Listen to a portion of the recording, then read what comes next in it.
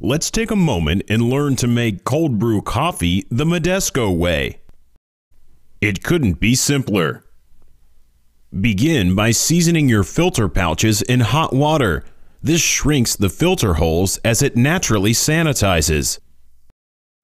Madesco's specially designed cotton weave retains the grounds and all the coffee's natural oils and flavors mix throughout the brew. So, let's begin brewing. First, we measure out our favorite ground coffee. Figure a cup of medium ground coffee for a quart of hearty cold brew.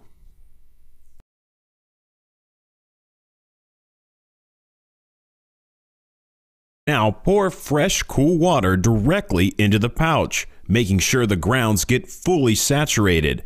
Some like to stir the grounds as they pour in the water just to make sure all the coffee gets soaked.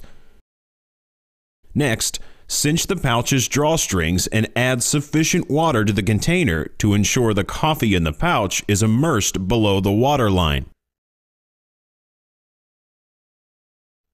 Finally, let the coffee steep on the counter or in your fridge, say 16 hours, but that's up to you.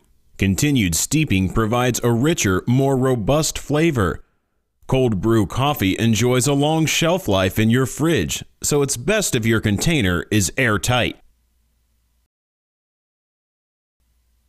Cleanup couldn't be easier.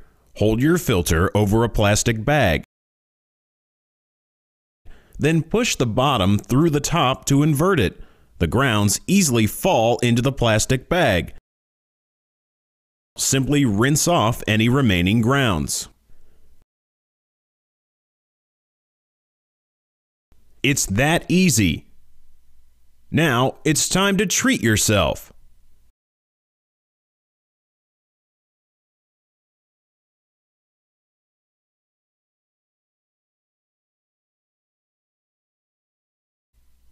How refreshing! No bitter acids, no stomach upset, so energize naturally.